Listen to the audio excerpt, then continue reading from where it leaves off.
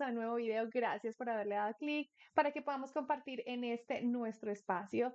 El día de hoy quiero que me acompañen a ver este video que es de un tema un poco controversial, a algunas personas no les gusta mucho hablar de estos temas y yo lo entiendo de primera mano, créanme, como colombiana lo entiendo de primera mano, pero al mismo tiempo digo, bueno, pues es una realidad y bien o mal nos tenemos que informar, tenemos que ver qué sucede por aquí y por allá, así que quiero que me acompañen a ver este video que dice, así es la casa de Ovidio Guzmán, el ratón donde fue detenido durante el Culiacanazo. Así que, uy, bueno, vamos a ver cómo está la cuestión, me imagino, me imagino la casita que debe tener.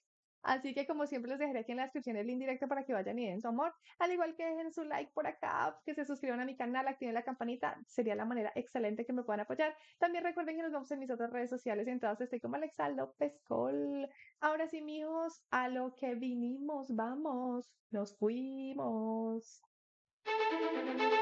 ¿Qué tal? Soy José Rodríguez, director de Luz Noticias. Eh, venimos a la comunidad de Jesús María, en donde fue, pues digamos, el epicentro de estos enfrentamientos entre el crimen organizado y también el ejército mexicano. Así está la entrada de Jesús María en estos momentos. Eh, hay automóviles por donde sea en la carretera, camionetas destrozadas, baleadas.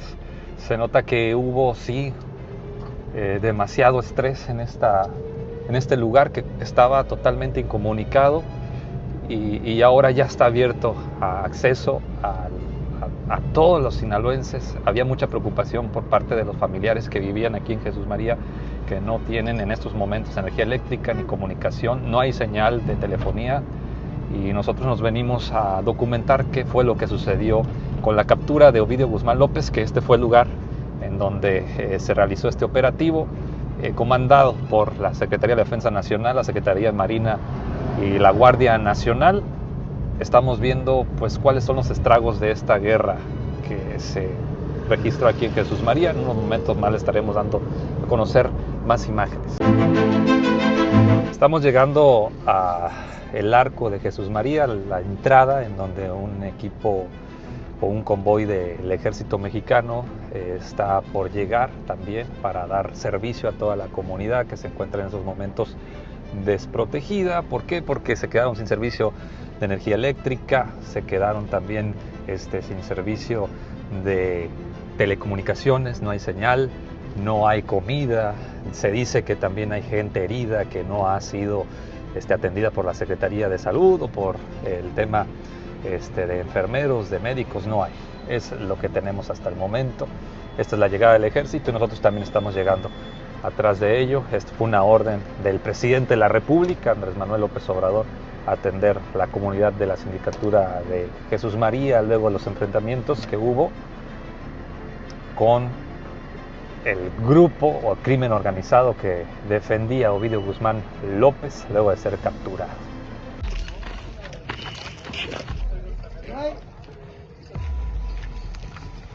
Ya llegamos a la comunidad de Jesús María, en donde fue el epicentro de este enfrentamiento entre el ejército mexicano, la Secretaría de la Defensa Nacional, en contra del grupo del crimen organizado eh, en el cual fue capturado Ovidio Guzmán López. En este sector, aquí son los estragos de estos enfrentamientos, cómo quedó esta camioneta en estos momentos, totalmente volteada de este enfrentamiento, en donde el ejército mexicano sale con la mano en alto y se califica por parte de la Secretaría de Gobernación como un duro golpe al cártel del Pacífico.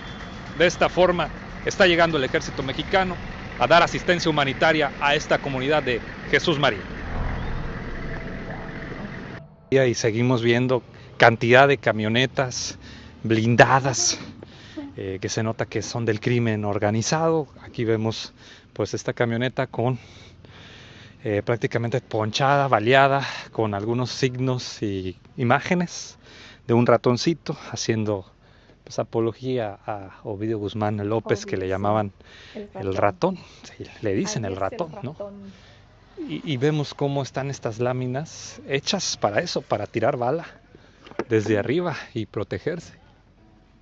Ahí vemos cómo los Barrets los podían localizar ahí, los podían este, poner y empezar a tirar bala desde allá. Esta es una de las tantas camionetas, está totalmente blindada, es un grosor impresionante de blindaje, igual aquí.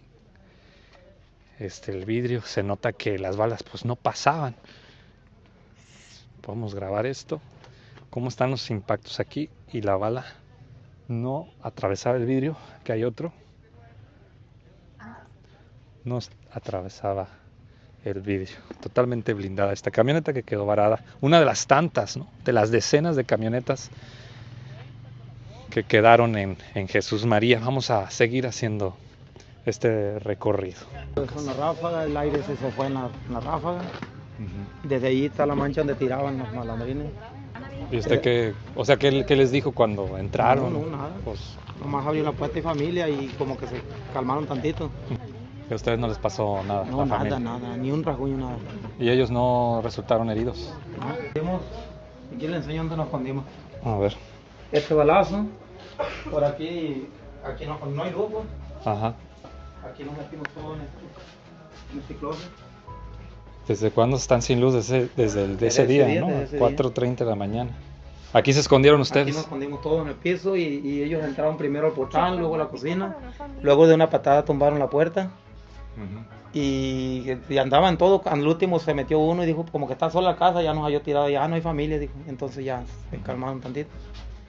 Y pues nosotros con los ruidones tiraban de aquí adentro y con los ruidos pues muy, muy espantados.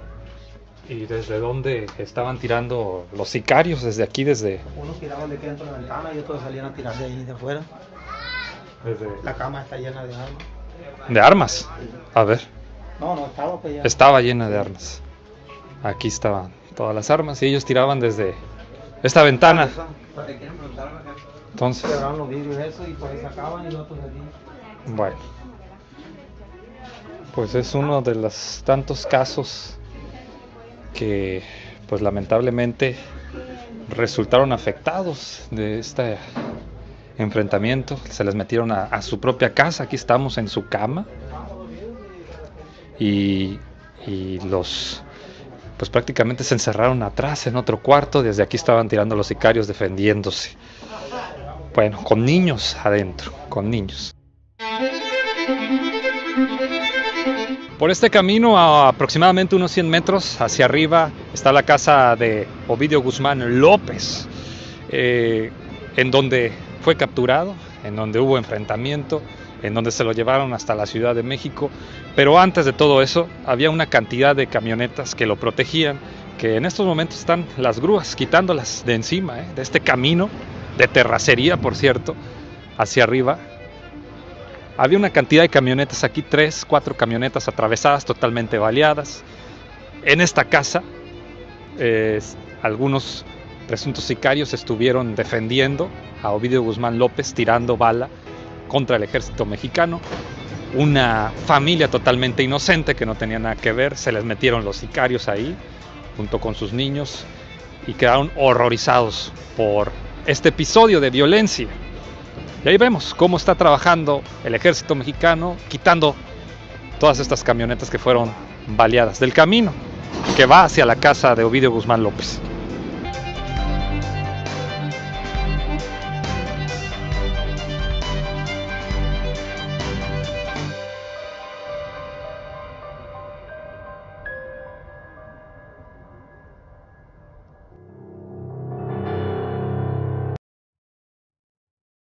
Impresionantes imágenes.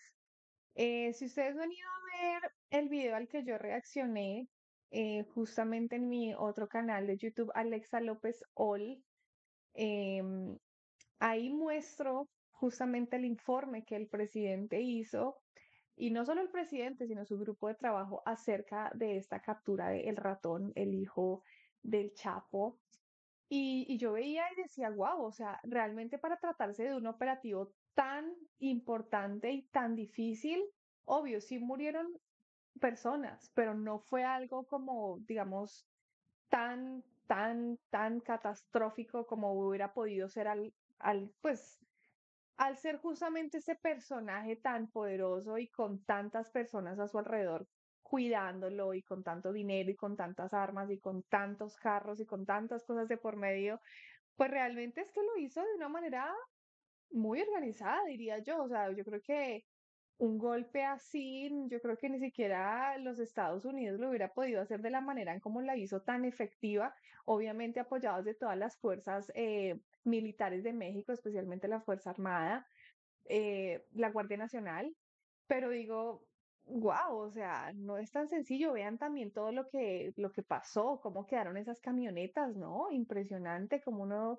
uno a veces no tiene ni siquiera la noción de cómo son, de qué tan blindadas son estas camionetas. Obviamente eso debe valer muchísimo dinero, una camioneta de esas. Y cómo quedaban aún y con todo eso, de cómo también quedaban em, llenas de los huequitos de todo lo que ellos tuvieron que hacer durante el enfrentamiento y de cómo las personas civiles pues también se asustan, ¿no? Y tienen que vivir este drama y este trauma porque, bueno, no solamente dejan marcas a nivel físico, pues menos mal a esta familia no le sucedió nada, pero imagínense que ustedes están en su casa y de un momento a otro le tumban la puerta, le entran y empiezan ustedes a escuchar que balas vienen y van, o sea, y niños y todo, o sea, muy fuerte. Y yo creo que eso justamente eh, es a lo que tenemos que pelearle en la sociedad en la que vivimos. Y es que ya tenemos que ponerle una pausa a esas generaciones de violencia, esas generaciones donde se dejaron tantos niños huérfanos, tanto sufrimiento, tantos niños eh, capturados para estas bandas, o sea, muchas cosas que son muy fuertes y muy difíciles muchas familias en pobreza también. O sea, muchas cosas que lastimosamente todo este mundo del narcotráfico, del, de la corrupción y también de los narcogobiernos que hemos tenido. Yo lo digo por Colombia y estoy segura de que México no es la excepción. Así que, eh, bueno, pues ahí tienen ustedes estas imágenes de cómo quedó esa escena, prácticamente, ¿no? Qué fuerte, qué fuerte ver que es la realidad que, que tenemos, qué fuerte que es contra lo que peleamos. Y yo espero que de verdad se sigan haciendo las cosas bien y que se vea una esperanza donde justamente se le hagan estos fuertes golpes a estos grupos. Lastimosamente esa no es la manera. Entonces, uno entiende que sí hay dificultades económicas, créanme, créanme que lo sé de primera mano, especialmente de donde nací, Santander, donde también es un pueblo eh, muy, muy, muy arraigado este tema de la narcocultura, de lastimosamente los campesinos no tienen otra opción o no tenían otra opción más que cultivarlo, pero al mismo tiempo, pues trae consigo mucha violencia, trae consigo muchas malas consecuencias y pues lastimosamente no es por ahí. Así que que se hagan este tipo de cosas donde se le estén dando golpes a estas organizaciones, pues bien, por ahí es. Aquí tuvieron ustedes este informe, déjenme saber qué piensan, déjenme eh, su opinión, esa es la idea justamente que andemos aquí ustedes y yo intercambiando. Como siempre, recuerden que si me quieren apoyar lo pueden hacer por medio de ese like, que se suscriban a mi canal, activen la campanita, recuerden que nos vemos en mis otras redes sociales. Mi frase favorita ha llegado. Mi corazón es mexicano, mi sangre colombiana. Nos vemos en un próximo video. Chaito, chaito.